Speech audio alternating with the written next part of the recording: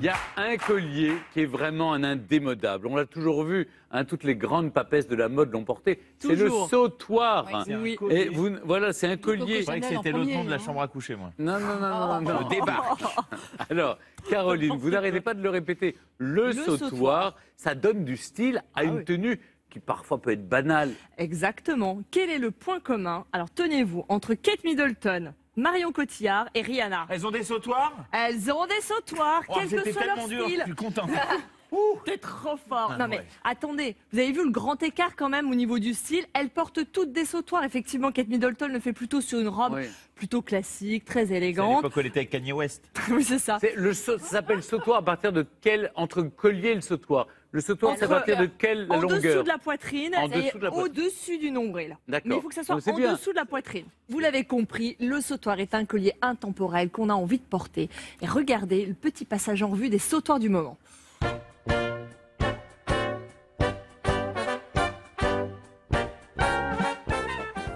Dans les années 20. Dans les clubs et les balles, on danse le charleston.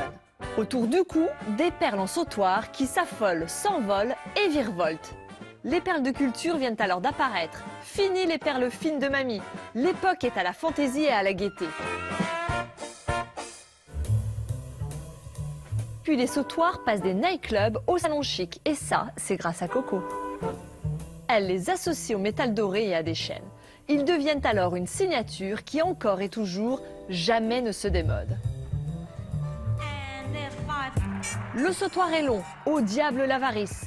Généreux, il s'entortille, fait des vrilles et se mélange. Métal doré, métal argenté, les hommes indiens en portaient en signe d'opulence. Les femmes d'aujourd'hui y puisent l'assurance d'un bijou très présent. Présent il l'est, mais tout en légèreté. Des perles encore, des perles de verre, des résines, des céramiques, tout un art d'association pour une rivière de gouttes irisées et pastel, comme un matin de printemps. Le sautoir peut aussi habiller le dos, comme celui-ci avec sa médaille qui balaye les reins, tout de raffinement.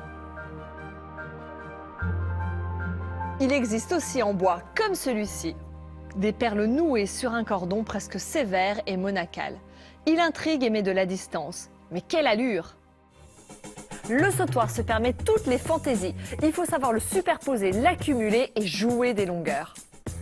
C'est un bijou qui se joue du temps qui passe, que l'on aime tripoter et caresser. Il épouse la silhouette, tel un bijou vivant et charnel.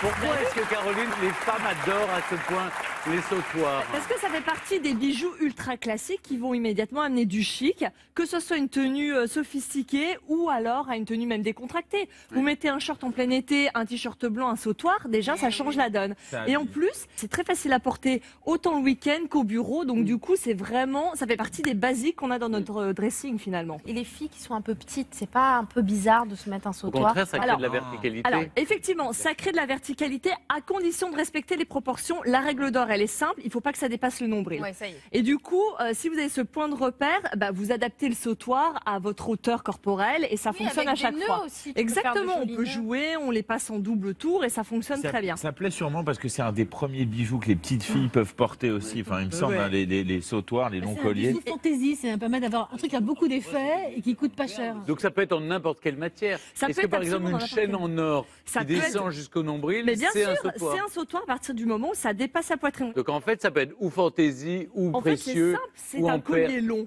C'est aussi simple que ça et ça donne de la verticalité, ça élance sa silhouette et ça donne du chic. Donc il faut le joli porter. quand on n'a pas de Alors je vois que vous avez amené Oui, plein de choses. alors, mais euh, oui je suis Stéphane. très curieux. Ce week-end, c'est la fête des mamies. Oui. Donc j'ai préparé un petit shopping justement pour faire des petits cadeaux hyper sympas. Regardez, on commence par une chaîne. Il y a un bracelet aussi assorti.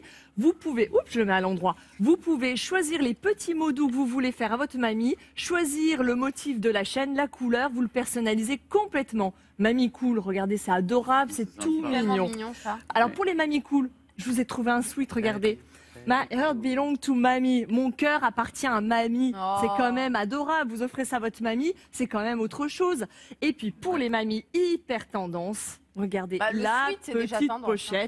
Mamie, Mamie Power. Power. Voilà. Et là, il y en a absolument pour tous les styles et surtout, ça vous permet de déclarer votre flamme à votre mamie. Je l'ai dit, c'est vrai que les sautoirs, comme c'était dans les années 20, Oui. Peut-être mamie, elle sera très contente Ça euh, lui rappellera d'avoir un un petit peu. sautoir. Moi Ouais. aussi. Bah oui. Des petits accessoires. Même là, si on peut être mamie et pas avoir connu les années 20. Ah oui. N'est-ce pas, T'as connu, toi, les années 20 non, non, Benoît Vous êtes insupportable.